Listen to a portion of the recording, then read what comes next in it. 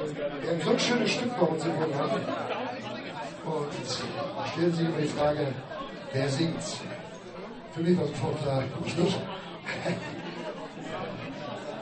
Und dann haben sich unsere beiden Frauen, die Jacqueline und Heidi, geeinigt, dass Heidi das singt. Und ich finde, die als letztes Mal zum ersten Mal gesungen wurde, zum zweiten Mal. Das ist nicht mal eben so. Aber Kolderov, smooth operator from Charlie.